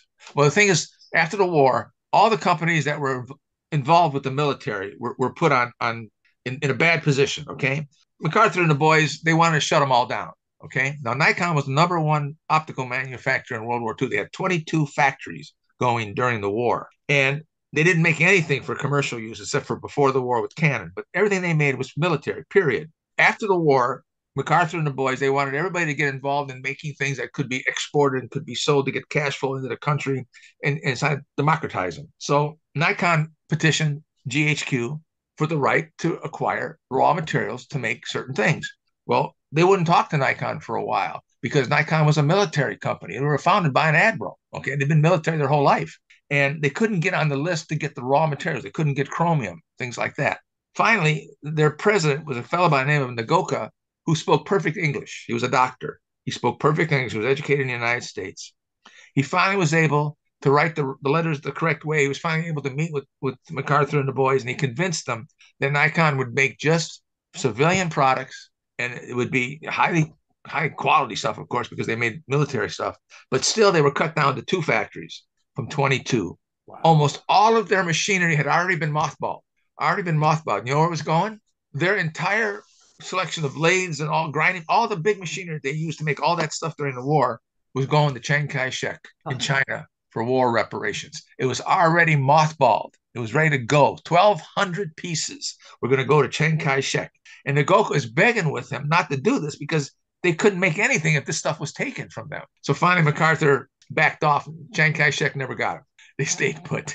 And then, you know, they went down to two factories and uh, like 1,200 people from 24,000 during the war. They had went down to 1,200. Right there in Shinagawa, which is the south end of the southern part of, of Tokyo, so in the south side of Tokyo, was not hit very much during the war. matter of fact, they survived the war in pretty good shape, considering what happened to the rest of Tokyo. But um, they almost didn't exist. In 47, 46 and 47, they were that close to going under. Matter of fact, they were so poor, they had no heat in the wintertime. I got pictures of Fuketa working at his, at his drawing desk in the wintertime with gloves on. Didn't have any heat. Okay. Uh, right. They were cold. If they would have an order for 10 cameras, they would build the 10 cameras. Okay. Then they'd send all the workers home and call them up when they got another order for more cameras. They couldn't afford to have them there every day. They'd wait till they get another order for maybe eight or 10 mm-hmm. cameras and they'd call them back and they'd come back and they'd make those. That's they were living day to day, period, day to day. But you know what saved them? The one product that saved them? Revere Camera Company in Chicago. Amazing. Made little eight millimeter movie cameras, which came with a 13 millimeter what one nine or something, little yeah. tiny lens about big as your thumb, right? Yep. Twenty-two thousand of them were sold to Revere at seven dollars a piece. Wow. That's how, but that saved the company. At seven bucks, they were still making money on it, but they sold 22,000 wow. of the Revere camera right here in Chicago. And that's what saved Nikon after the war. That was the first product that was a success. I remember you told me that story, Bob, because I I've seen those lenses. I mean, they're all over the place the camera, you can still find them really easily. Thousands of them out there. some, yeah. are, some are even marked occupied Japan. If you look real yeah. close, I had a couple that were marked occupied Japan. Wow! But the camera that they put them on, Revere had a whole series of eight, those little eight millimeter. They weighed like yeah. a ton. They were solid cast iron, right? Okay. It was called the B2, I think it was. The B2 model was the one that came with the Nikkor lens. They charged like an extra 10 bucks for it or whatever. They were paying seven for them. They charged an extra 10 or $12 for the camera if you got it with the Nikkor lens, you know. Then later on, Sears copied them when they when they put, brought in all the Nikon lenses for the tower cameras. But that little lens, that little lens saved Nikon. Rob, um, or anybody listening, if you want to learn more about Nikon Nippon Kogaku's role uh, before and during the war, on my website, I have an article that I reprinted with permission by this guy named Dr. Jeffrey Alexander um, who is uh, he did a master's thesis called yes, I remember him. Nikon and the sponsorship of Japan's optical industry by the Imperial Japanese Navy. Long title, but it's a really, really in-depth look at what they were doing back then and what their role was in the war and everything, you know, leading up to it, like supporting what what Robert said. It's I think it's a great read. If, if There's another good read out there. It was, it was, written by a friend of mine called Wes Loader. Uh, it's called Nikon in America 1947 to 1951 or 52. You got a copy there? I helped Wes write it. I did the introduction for it and whatever. But Wes is a trained librarian. He came up with an idea that I had never thought of because I, like I said, I went to the public library trying to find information. They couldn't get anything out of Japan or whatever. So what does Wes do? He goes to the National Archives in Washington D.C. and he knew who SCAP was. SCAP was the, the MacArthur boys. Okay, it was called SCAP, and he started looking up Nippon Kogaku and the and the Nikon and also the Japanese optical industry and whatever. And he came up with all kinds of information about what was being made, how much was being made, when it was being made, where it was being sold, of all the companies, not just Nikon, but of all the companies. But he, it's a it's a very detailed book. Now it's it's an ap- academic press, so it's not something you're going to find anywhere. You might find them in a bigger library somewhere. But it's called the Nikon in America, and uh, it's it's a very good. He writes very well. It's very easy to follow. It's highly technical in some respects, but you have to read it if you want to really know what happened. It's a good right book. after the war. Yeah. Andre, it sounded like at one point you were going to ask a question. Did you have one? Uh, no, it wasn't specifically uh, a, a question, and you know, apologies to to single him out like this, but I, I just want to say how how great it is to see Johnny's face again. yeah, man. I was I was just going to tell you the same thing. It's been a while. and uh, of course, you know, we we have to share a little a little camera porn here. Although, you know, it, it's not quite film. Uh, I have here my my new to me Nikon ZFC, and uh, just to kind of lean very much into the the old school FM FE uh, aesthetics, I went ahead and on the on the back of the screen taped a little Cinestill BWXX. nice.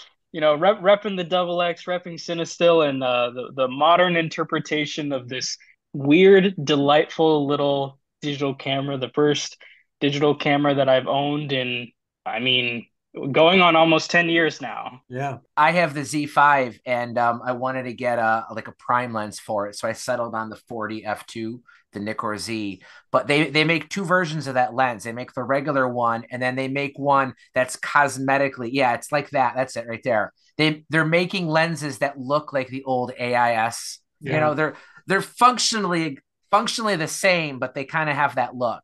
Although I am still very angry that they did not put a physical aperture ring on this. Yeah. Yeah. You can assign this quote, quote unquote control ring to do, you know, focus by wire or change your aperture or exposure compensation. But Nikon, you were so close. Why don't yeah. you just put a manual aperture ring on there? Oh, anyway, it's been a lot put of the bunny ears on there. Come on, put the bunny ears on there. Yeah, just screw them you in. You know why that camera was such a success? because everybody got tired of looking at all these black blob that look like jelly beans. Okay, I mean the yeah. cameras they make today, they all look alike. You can't yeah. tell them apart till you see the name on it. And this camera, even though it's retro, is a much more handsome camera than the stuff that's coming off the lines now. Oh, absolutely. I mean, yeah. And and you know, I I still having owned it now for a little over a month. Do I love shooting digital? Not really, but uh, for scanning, my film. It's been working great. Yeah. I played around with the video a little bit and I just love the fact that it aesthetically fits in with everything else that I own. And people can poo poo like, oh, did you buy the camera just for the looks? Yeah, god damn it. I did. Yeah. It feels because right. it looks it feels cool. right in my hands. it feels right in my hands. Uh it, it looks, you know, like everything else. And there is a disarming effect to something like this versus any of these black modern mirrorless cameras with a big old honking lens on the front of it. Yeah. Nobody has given a shit about me shooting this this camera on on the street. They just think I'm one of these young film hipsters. Yeah. And I'm okay to to blend in with that uh with that demographic. Yeah. Well, the aesthetics, that's what drew me to Fuji originally. My first yeah. mirrorless was the Fuji X-T20. And while it's it doesn't look like a Nikon, but it has mechanical dials with actual yeah. click stops. And it looks like somebody cared about the design. You know, for so many years, cameras were Toyota Camrys. Yeah. And now they're starting to look cool again, you know? Yeah. Mm-hmm. And I, I don't know how well this is doing for them sales wise, but man, I, I hope I hope that it catches on. There's there's an actual collectors group in Tokyo for that camera. I know the guy that's running. His name is Dami Tanaka. It's an actual collectors group and users group for that camera specifically. So it, it's a hit over there. Yeah. Well, I, I, as a testament to the to the to Nikon and the, the you know especially after the I don't know how old this lens is, but I've tested about thirty or thirty five lenses on the GFX um, body, and my very favorite manual lens, not not of the not of the modern ones, but my very favorite vintage lens is this, which is a Nikon lens. and this is for a bro. This is Bronica? for a, not maybe Bronica. yeah, it's, it's for the Bronica, the one that you can pull pull Yeah. the, uh, the Yeah. helicoid out on. Yeah, that's And the, the render. This is also one of Perry's favorite lenses. He he gassed Nick Lyle into it. Nick gassed me into it, and I gassed Hong Jun Lee into it. This lens is fabulous on the GFX. Superb. Get It's them for like eighty bucks. Yeah. They're hard to adapt, but if you can if you can figure out how to how to stack the adapters to it, the rendering Yeah. is amazing. and they're they're cheap. I mean, they're because it's the S2 is a it's a Bronica's gone. They're gone. The bodies are all gone. Yeah. Yeah, it- it- right, exactly. So it's you can still find them cheap. And they made a whole series of lenses. Uh, I used to have them. They, they made a 40, which was fabulous. They made a 50. Uh, they made that lens. They made a, a 10 a one a 105, I think, with a with a with a uh, leaf Yeah. shutter in it, so you could use it Yeah. like a Hasselblad if you wanted to. You know, Mhm. they made them all the way up to uh, 500. I, I would caution people listening if you want to adapt that. I mean, they're really it's a cheap lens and it, it it's just beautiful. It is But you got to get the right one because some of the helicoids are integral to the body, so you've got to get one that comes with a later, a little bit later. Yeah, the real early ones are different. Real early ones are different. Yeah. The guy that came up with that, he got he had something like a hundred and some patents were granted to him for that camera. Yeah. It's like Zenzaburo, I think. Zenza, something was his he did it all by himself. He did it all by huh? himself. Yep. So, Bob, why why did Nikon make this lens for Bronica? Like, th- I mean, I, I don't know what year this was. I'm assuming this is 50, like 50s. 57 they started 57 yeah they made all of Bronica's lenses up until uh, finally at the end that Bronica decided to make some of their own they called them Zenzanons but Nikon made all of their lenses from the beginning from the very first Bronica all the way up until uh, like when the EC came out and then they started to see the Zenzanon lenses coming out Nikon and and, and uh, Bronica just had a very good relationship you know uh, Zenz, Zenza Bronica, Zenzino, whatever his name was, he knew the, the president, whatever, of Nikon, and he needed lenses. He, he wasn't a lens maker; he was a camera maker. So he went to Nikon, and they made a whole series of lenses for him. Now, is the quality of those? I, I only have this one lens, but Yeah. I know that the range of them is the quality on all of them. The wides up to the teles, up to snuff to to, to what this Most this of them, yeah. The, the best one they had, uh, the 40 was supposed to be very good. I did shoot with that. The 50, they made a fifty three 53.5, then they, later on they made a 52.8, which is better. Uh, they made that lens, and then they went to the, the one with the leaf shutter in it. They had a 135, which was so-so. They had a 200, which was very good. One of the last lenses they came out for was a 350, which is very sharp. Then the lens, they also made an adapter to use the, the short mount lenses from the rangefinder series, the 180, the 250, the 350, the 500. The, the 350 was actually made in direct Bronica mount for a while.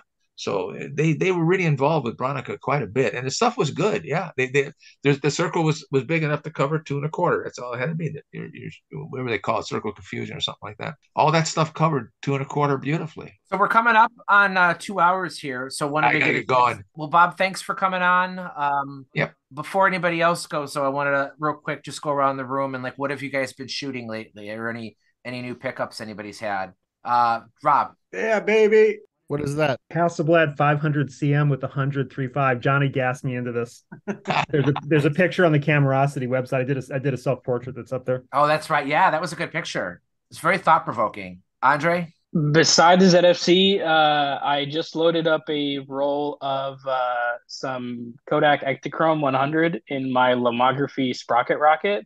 I'm going to be shooting that this weekend and uh, developing it in the Cinestill D9 Dynamic Chrome to get some, uh, you know, some some extra highlight latitude out of that, given the fact that that shutter is a piece of crap um, and is likely going to overexpose uh, everything by at least half a stop. All right. Should be fun. Theo, what about you? I've actually uh, moved back up into the 4x5 realm for a little while now. So I've started shooting the Pressman. I'm starting to pull out a couple of the other 4x5 cameras and uh, and uh, I'm really enjoying that. And uh, I've been shooting the Super Conta 6 a lot, the 6x9, um, which uh, is a lot of fun. And the quality is just out of this world. So I'm really um, quite enjoying those uh, larger formats at the moment. I was really impressed with the photos you got out of the Super Ikonta. Yeah, on Cinestill 50D um, as well, and it is they are tack sharp, and the colors are just mind blowing. And now, was that a pre-war or post-war Super Ikonta? It's the Super Ikonta C, which is the 1930s. Okay, all right. Super underrated film that uh that 50D It doesn't get uh, enough love.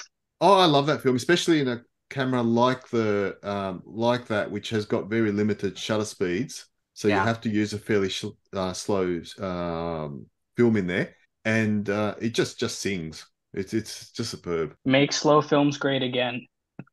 yes. Anthony, what about you? Well, after the half frame show, I went on to the Japanese eBay sector and ended up with a, a Pen D2. I've shot a couple of rolls through that, getting ready to load it up with uh, another roll this weekend. And other than that, you know, I just got to take out Johnny. You probably missed the whole drama here. I traded every last bit of my Leica gear to Paul for a Fuji G617. Wow. So I, I no longer have my M3 or my 3F, but I do have wow. the uh, 617, which gets, of course, four shots per roll of 120. Yeah.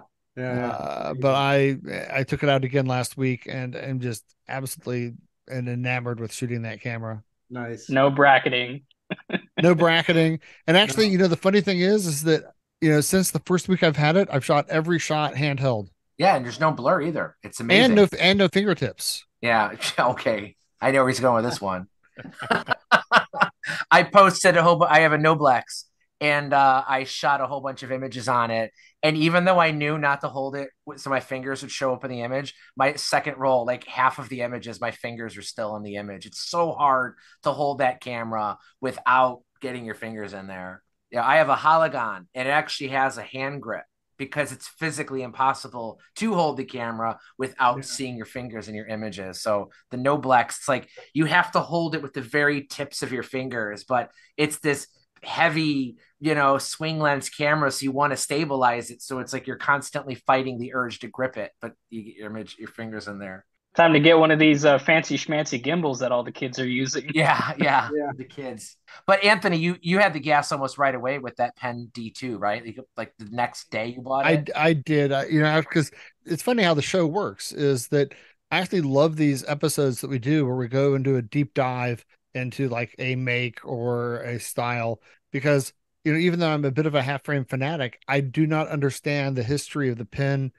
other than the two Pen Fs. I don't understand the history of the Pen half frame series from Olympus. There's just too many. I'm too confused. And finding out that I could get the, the D2 with that 1.7 uh, lens uh, mm-hmm. for $115 shipped from Japan I was like next morning I was all in on it and it, somehow it, it arrived from from Osaka to Gainesville in 3 days. He got that deck camera from Japan 4,000 times faster than it took him to get Theo's camera uh, from Australia. and it and didn't it, even sit on the side of the road. Yeah what, yeah. what the hell? Yeah. Well, it's funny. I, you know, we always talk about people getting gas after one of our episodes, but the half frame one, I think, evoked a lot of gas uh, you know, you got a camera. Ray Nason just posted that he ordered an AGAT 18. I think everyone did. Yeah, a lot of people did. Anthony though, Anthony didn't. Even though that's the one he still wants. I know. I know. oh, but there's a run on them now, Anthony. They're going to be expensive. I know. So Johnny gassed me into an Olympus pen a couple years ago, and I I hear pe- you know how people say on the half frames that it just takes forever to get through a roll. I've got some advice because I don't actually have that issue, but I do a, I do a thing which is every time I take a shot, I do a dip diptych, like I do two shots. And when I think that way, I wind up going through a roll the same at the same speed that I go through a normal normal roll. So what you take a picture of something and then take a picture of something every right time I it? take a picture on my pen, I look for two pictures to take. So I go pop. Okay. Pop. Rob, that's exactly what what I do. If I wanted to shoot a format smaller than 35 millimeter, I mean, I wouldn't do that to begin with, but it, it, I already struggle enough with 36 exposure. So yeah, I when I'm shooting half frame, I'm looking for the diptych and composing with that yeah. in mind. And I'll, I'll I'll see something and I'll wait until perhaps on the way back I'm like, all right, I'm totally. gonna go back and have to do those together in sync. Um, speaking of half frame, actually, I don't know if if anybody has gotten a chance to try the little. I mean, probably made in China Kodak Ektar H35 we talked about it, but we but not think anybody had shot one. These are not crap. I was really, really pleasantly surprised. I mean, you have the same kind of low-ish quality reusable disposables that we see a bajillion of these days. But two of the things that I love about this thing are a the viewfinder is probably just you know some stock part that they've been shoving in all the other dis- reusable disposables uh, made in China. But in the viewfinder, because you're you know, shooting a, a vertical format, they actually just place two kind of uh, pieces of plastic to the left and right, and they're perforated so that you can see through them when you're having like an infinity, you know, target focused uh, look. So they're acting kind of sort of like frame lines so that you can see what's beyond your frame through that perforated little screen um, which I thought was neat. And the other thing, I don't know what kind of like two cents more expensive capacitors they put in this thing, but it charges up the flash incredibly quickly and it retains the charge even overnight. Something that I've never gotten any of these kind of El Cheapo little reusable disposables uh, to do. So the combination of those things um, and just using it in situations you know benefit well from no control over exposure and shooting with the diptych in mind. I've had so much fun with this camera in the past few days. And again, on the topic of aesthetics, if you pick the girly mint color, people take it less seriously than the same thing looking black looks more I'm not going to say pro, but people are more suspicious of it yeah. than the, you know, pastel mint green. Does it come in pink? Probably.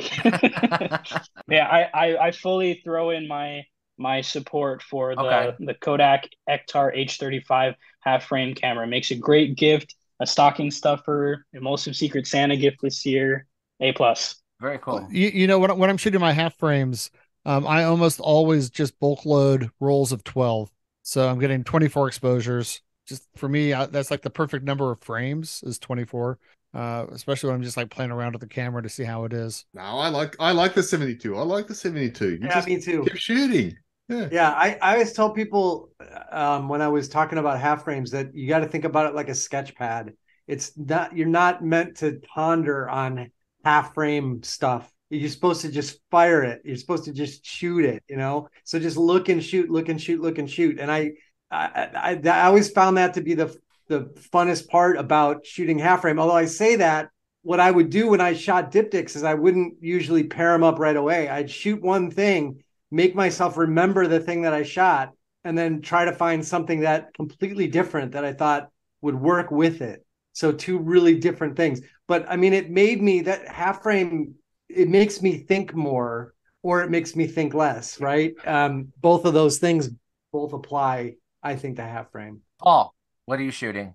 I'm knee deep in Hasselblads right now.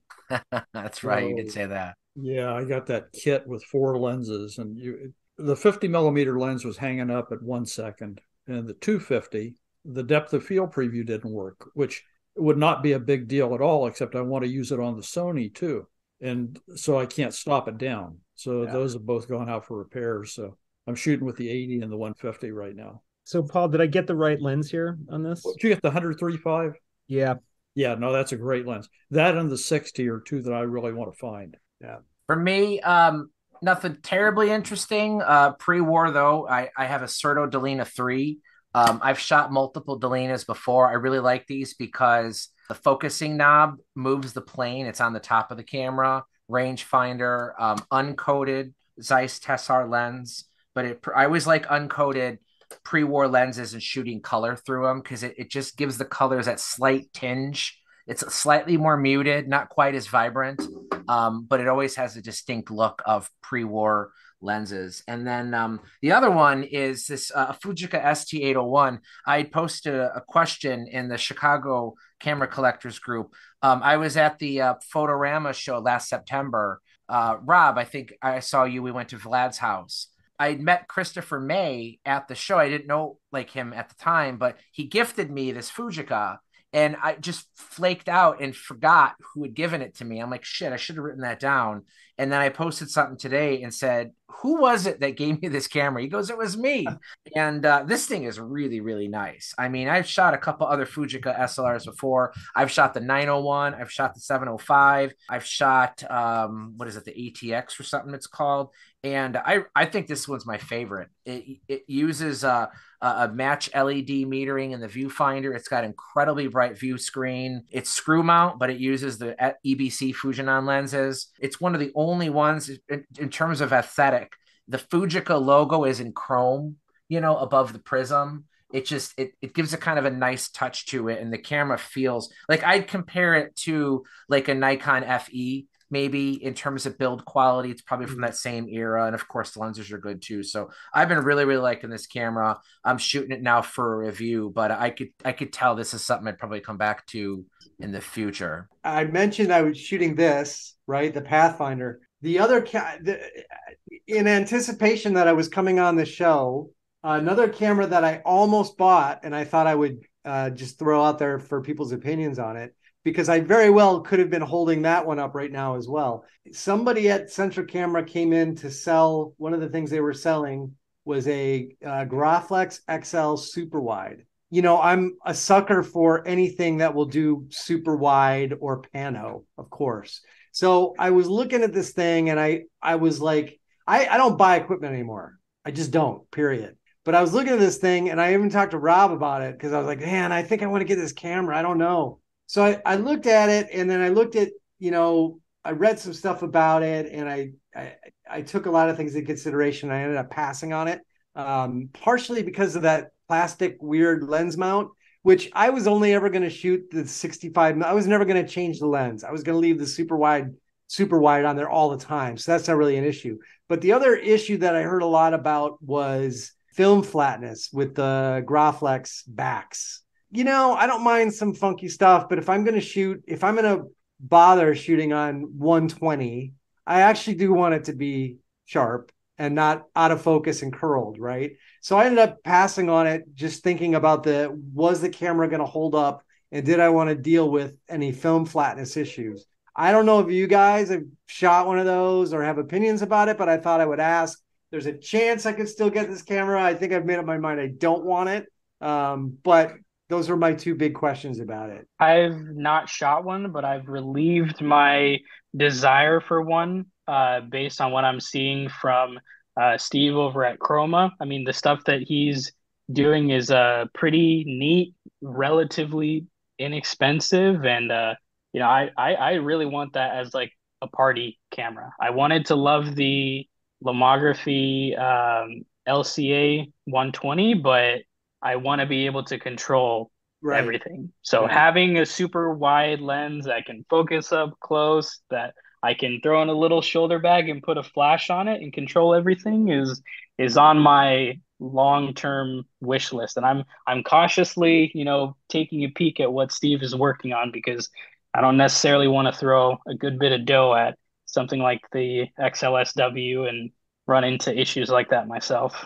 Yeah, the, the lens isn't quite wide enough, I don't think. The I, I have both the uh, Plaubel 69W Pro Shift, mm-hmm. which is a mm-hmm. 47 Super Angulon on uh, 6 by 9 and also I have a Mamiya Super 23 with the 50 millimeter and the 6 by 9 and those are both I, I recommend either of those two.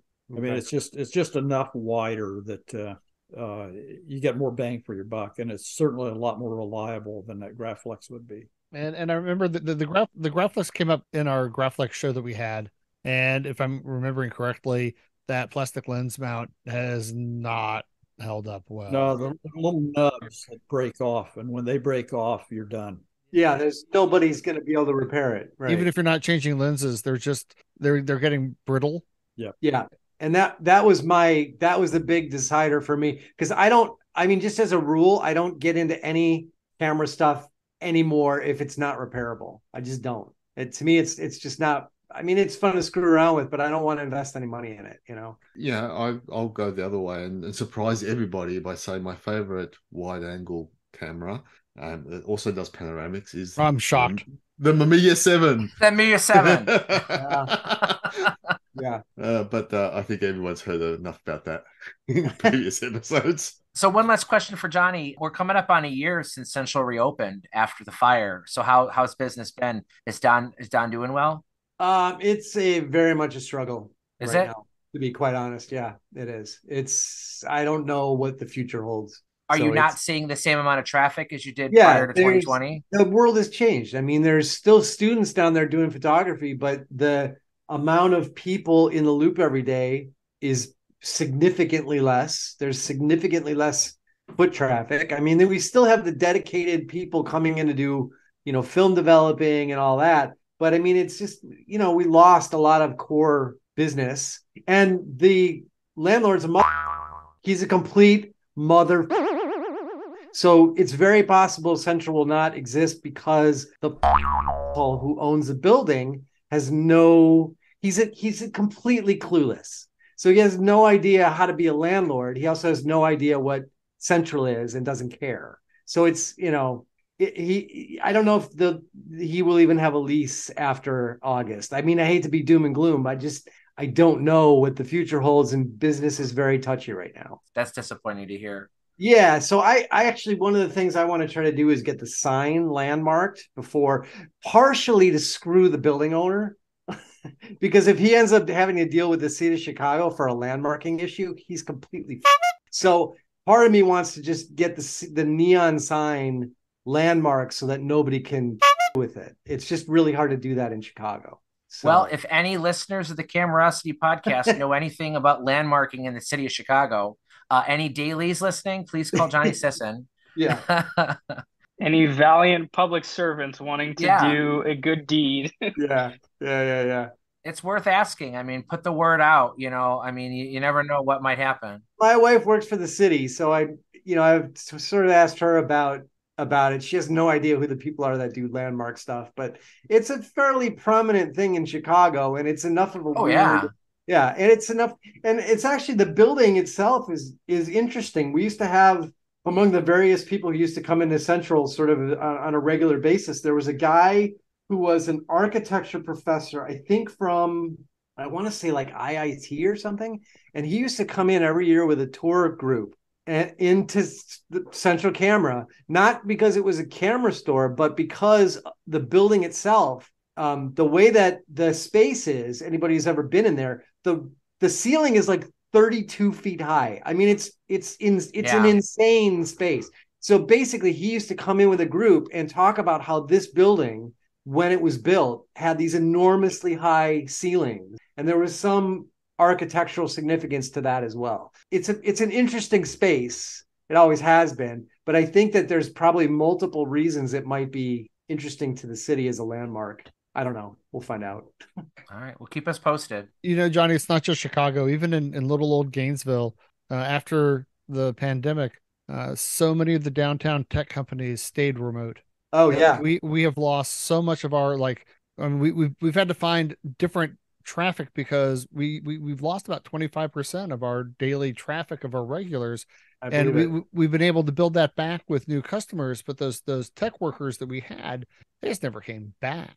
Yeah. Uh, my day job is for a software company and we're the same way. I mean we still work from home. Our company downtown i mean t- talk foot traffic for for for for central like our company has maybe 15% of the people come in yeah. Yeah. Yeah. Starting January of next year, I'll be working remote for Cinestill as well. Yeah. I mean, in Chicago, downtown, you know, you see it everywhere downtown. It's just people, it, it's, it, there's not a lot of logic behind forcing people to commute an hour each way into the city every day to do their work when they can do it at home, you know? So, I mean, it's, it's not just Chicago. Yeah. It's, it's everywhere. So it's sad, sad to hear. But uh, I think that's a good point to end the show here. Maybe not on a downer. Let's think of something funny. Uh, you got Johnny on a show, so that's pretty what, awesome. Two years. Yeah, it's you, been a while. Do you, do you, have, do you have photos of something? Well, part of it is you know we record on Mondays usually, and, and Johnny you said that it's that's just a horrible day for him. Yeah. Part of it is you know you guys know that I have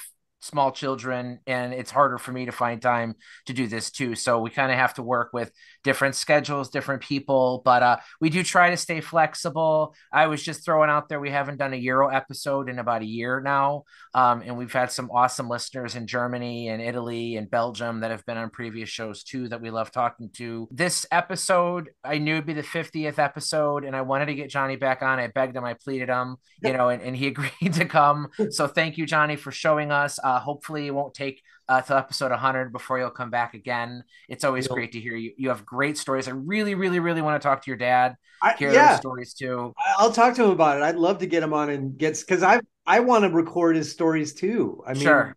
you know. I love hearing these stories. That's what I want to hear us about. Um, for the next episode, we're going to do Kodak. Um, I've talked to Do- Todd Gustavson from the George Eastman House He's oh, agreed to come back on the show. He was on one of the other ones, but we just didn't feature him. So we're going to talk about trying to pick apart the confusing array of Kodak cameras. Uh, which ones are the ones to go after? You know, Anthony and I both love the Medalist, but you know, there's other ones out there that are worth collecting too. We have some great ideas for future shows beyond that. But like I say, every episode, the whole appeal to this show from the very beginning, Johnny and I said we're going to make a show without planning a whole lot. Uh, maybe throw a topic out there and just see where it goes. I didn't even know Bob Rotoloni was coming tonight. So had he not been here, this whole episode would have been totally different. And that's what I love about the show is just you just never know what, what we're going to talk about. I'm only disappointed because in the chat, Paul wanted to talk about King Regula, and we never got a, we never got around to it. So yeah, we'll just kick that one down the road as well. Okay. All right. All right. Thanks everybody All for right, showing. Guys. You guys have a good night, and uh, we'll talk to you guys soon. So good night. Good night, everybody. Thanks. Good night. Bye, everyone.